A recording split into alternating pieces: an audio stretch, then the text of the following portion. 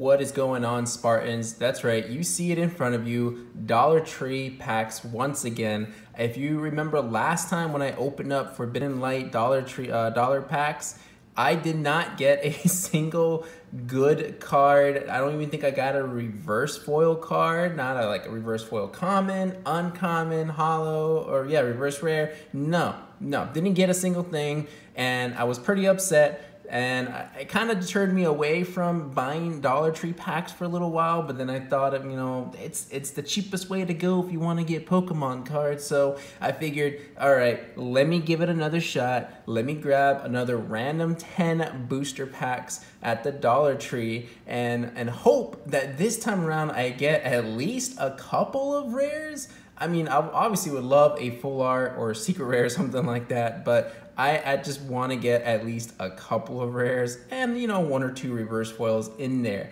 Um, when I go to the Dollar Tree, I don't just like pick up the top 10 because like I feel like maybe people, I don't know, people weigh them. I don't know, that's a thing. Ever ever since I got like widespread news, like like people started realizing, oh no, people are weighing packs, like, you know, leaving all the bad stuff behind. I, I just don't I, I don't like getting single packs usually. If you follow me on Instagram, you know I do quite a bit. It's a bad it's a bad habit. I have like that impulse buy. It's like, oh, I just gotta buy one booster pack. It's only like four bucks. And, but sometimes I get some really good stuff out of it. So when I go to Dollar Tree, like I just put my hand in the box and just grab like the the 10 that's like right there in the back in the middle and and I'm hoping I'm thinking okay no one's tampering with those. No one's gonna reach that far back. But we shall see. We got 10 booster packs here. Um, I don't know if I did an order with the pack art but I think I am just gonna go ahead and just do least favorite to favorite pack art. All right so here we go. Oh man I can't even get this open already off with a Litleo uh, there's that promo little thing they got. All right, so Grass Energy. Yes, best start ever. Obviously that Litleo and a Furfrou. Okay, so nothing in that pack. Uh, let's go ahead and open up some Naganadel pack art. Okay, off to the side there. One to the front. Let's see if I grab anything good here. A Zygarde, a Fennekin, which is one of my favorite arts from uh, Forbidden Light, and a Heatran. Okay, so at least we got one rare. I think that's mission accomplished. We're good. Case closed. Let's take it home, boys. Like, it's, it's, uh, I just, I was so upset last time I bought these packs that Come on, even for my Ultra Prism, I at least pulled a full art out of my very first pack. Forbidden Light couldn't give me anything. Binacle and an Aegislash, another rare card. Okay, all right.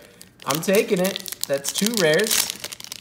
Two rares is better than anything I think we pulled from the last time we opened Forbidden Light uh, single packs. Okay, one to the front. Lightning. Where, what's with the deal with the, all these energies? Jeez. Exeggcute, and a Scatterbug. Okay, uh, Naganadel again.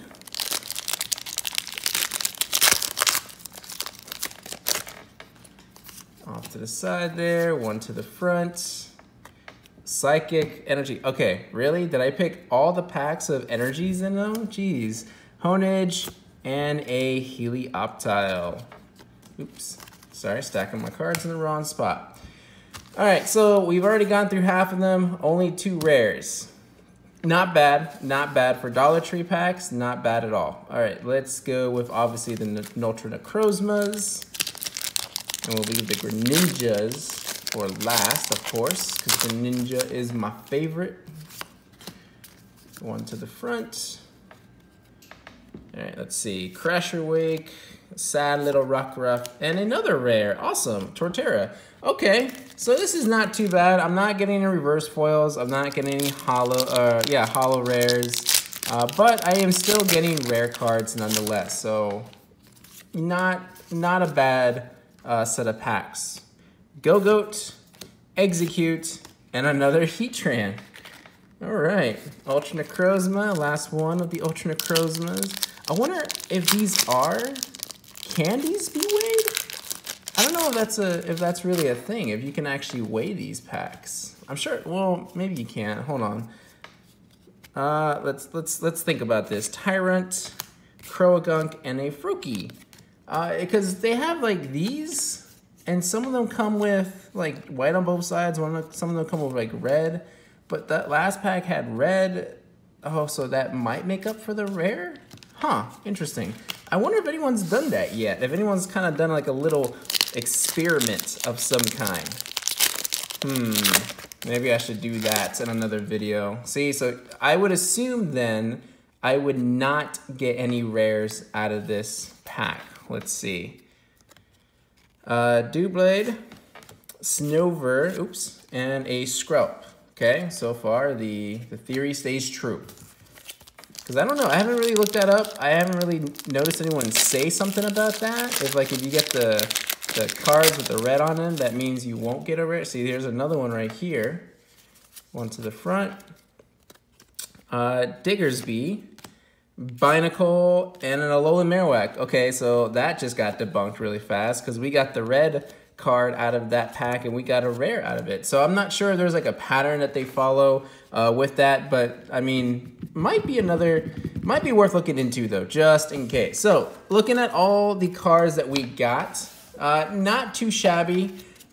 It was definitely better than uh, than our last Forbidden Light purchase that we did at Dollar Tree, um, but definitely just slightly disappointing, uh, only because I would have liked a holo rare at the very least, if not an ultra rare card. So those were all the commons and uncommons I collected. And the rares, not too bad. There's the Aegislash, Heatran, two Heatrans actually, we'll see in a second, Torterra, see there's the other Heatran, and the Alolan Marowak. So not too bad. Um, overall, I would say this was kind of worth the 10 bucks. Uh, I don't know how you guys are faring with your Dollar Tree packs. Uh, I had only beginner's luck when I pulled that full art Dusk Dusk Mane Necrozma out of there, but I haven't really pulled anything too exciting since. So I'm not sure if I'm gonna go back for Dollar Tree packs, maybe when Celestial Storm comes out.